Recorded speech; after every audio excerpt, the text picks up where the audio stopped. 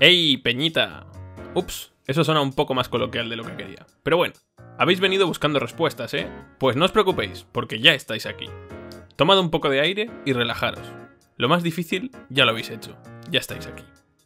Bueno, mientras hacéis las cosas típicas que te dice la profesora de yoga de cuenta hasta 3 segundos para inspirar y 7 para expirar, yo os paso la intro y empezamos, ¿vale? Let's go.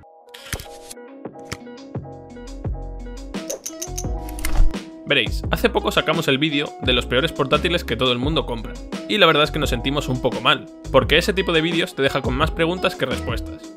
Así que hoy os traemos un vídeo para salvaros de las terribles llamas de la incertidumbre y los largos y fríos brazos de la duda. Antes de empezar, como siempre, tened en cuenta que este es un top con posiciones muy reducidas. Solo tres, más o menos las neuronas de un terraplanista. Así que obviamente van a faltar muchos portátiles que también podrían ser muy buenas opciones. Pero por otra parte también os digo que en este canal tenemos como 500 millones de vídeos de portátiles, así que si buscáis algo más en específico, pues no os preocupéis, que lo tenéis ahí. Pero bueno, vamos primero con los portátiles más económicos. En primer lugar tenemos al Chewy Aerobook. Y sí, sé lo que estás pensando, pero Crytek, ¿cómo puedes coger este portátil si tiene un procesador tan malo que prácticamente funciona mediante un complejo mecanismo de poleas, vapor y engranajes?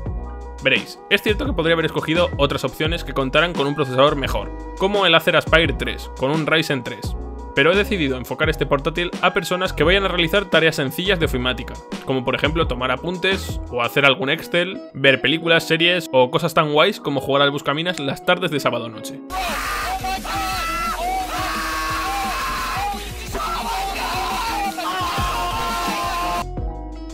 Y para estas tareas el Chewy es muy, pero que muy superior a cualquier otro portátil por el mismo precio.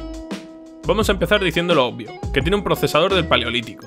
Eso es así, pero es lo suficientemente potente como para realizar las tareas que os he dicho anteriormente. La parte buena es que ahorrar en este apartado es lo que nos permite ser tan bueno en el resto de cosas. Así que como dirían los científicos del MK Ultra, es un mal necesario. Vale, esto ha pasado a ser bastante turbio en un momento. En primer lugar, y lo que notas nada más tienes el ordenador delante de ti, es la calidad de construcción.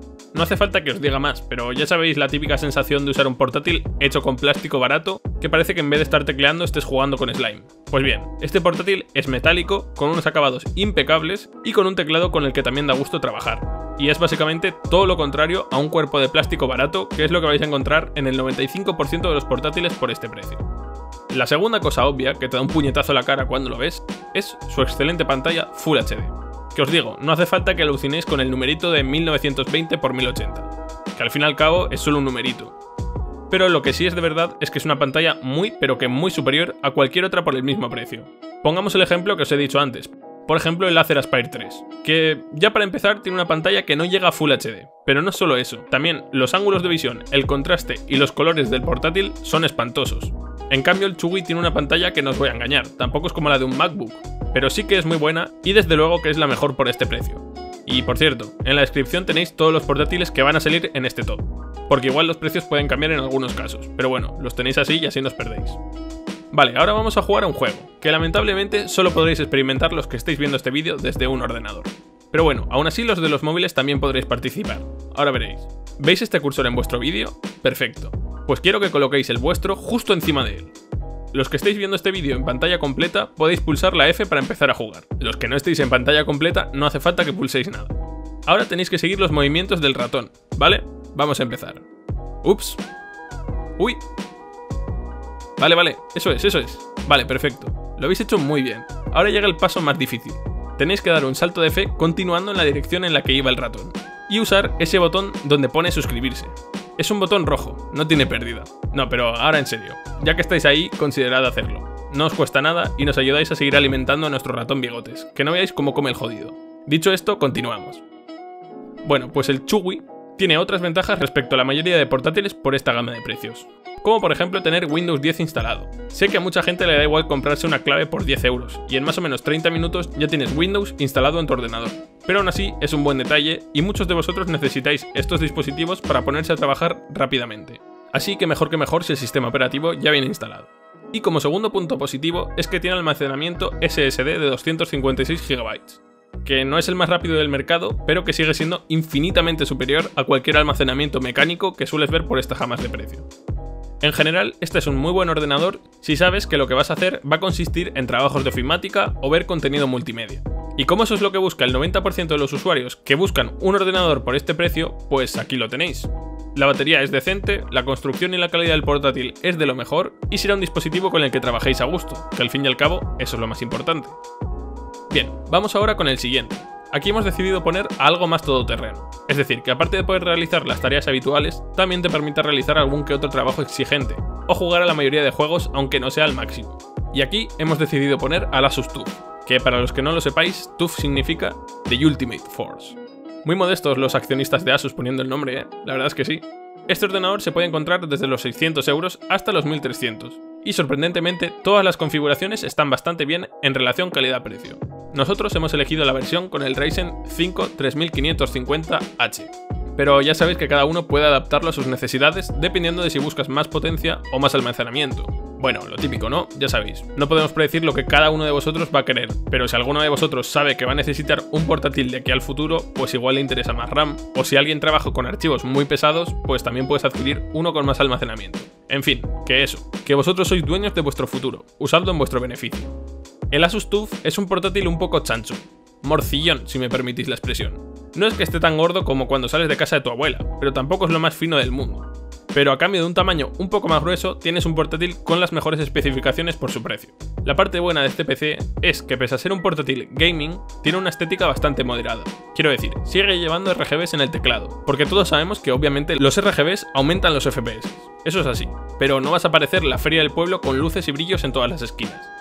Por lo demás está bastante bien en lo que se refiere al aspecto de hardware, con un SSD de 512 GB, una pantalla que es bastante decente para lo que son los portátiles por este precio y una tarjeta gráfica que es más que solvente.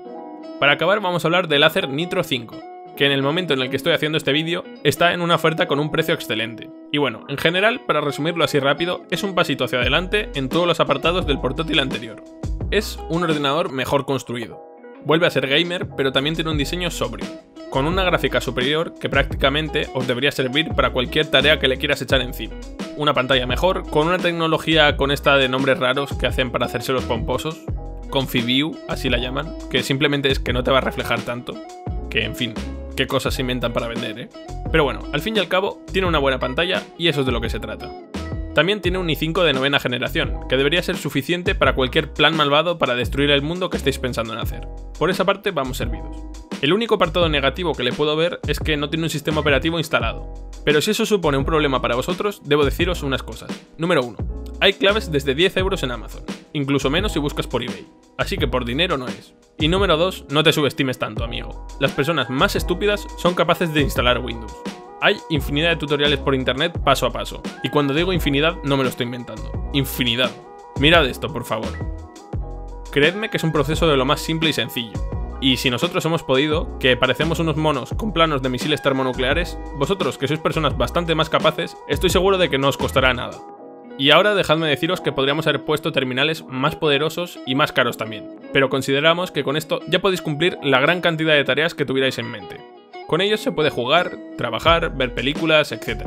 Si necesitáis portátiles más poderosos todavía, pues ya tenéis vídeos en el canal. Dentro de poco os traeremos una entrega de los mejores portátiles para estudiantes, donde nos centraremos más en la portabilidad y el tamaño de los dispositivos. Así que si alguien estaba esperando algo ligerito y potente, os recomiendo que esperéis ese vídeo. Para acabar, os tengo que decir que dentro de poco está por salir la nueva generación de portátiles con Ryzen 4000, la nueva gama de procesadores de AMD, que promete bastante bastante. No es que estos portátiles que os hemos dicho ahora vayan a convertirse en basura instantáneamente, pero muchos de nosotros estamos esperando la llegada de esos portátiles con bastante expectación. De todas formas, cuando haya los suficientes modelos, os haremos un vídeo al respecto, no os preocupéis. De momento solo existe el Asus Zephyrus G14, que es un muy buen dispositivo, pero que también es muy costoso. Eso no significa que tenga sobreprecio, ¿eh? simplemente es que solo sale con unas configuraciones bastante tochas, y no estoy seguro de que a la mayoría de vosotros les interese comprar un portátil que empieza desde los 1500 euros. Dicho esto, esperamos que paséis un bello día, que hayáis cumplido con vuestros saludos al sol y posiciones de loto. La verdad es que ya no sé si este vídeo es sobre yoga o sobre portátiles. Pero bueno, muchas gracias por haber llegado hasta aquí. A vosotros, a los que os acabéis los vídeos y a nadie más. Os deseamos un muy bonito día, tarde, noche o clase de yoga y nos vemos en el próximo vídeo. Chao, chao.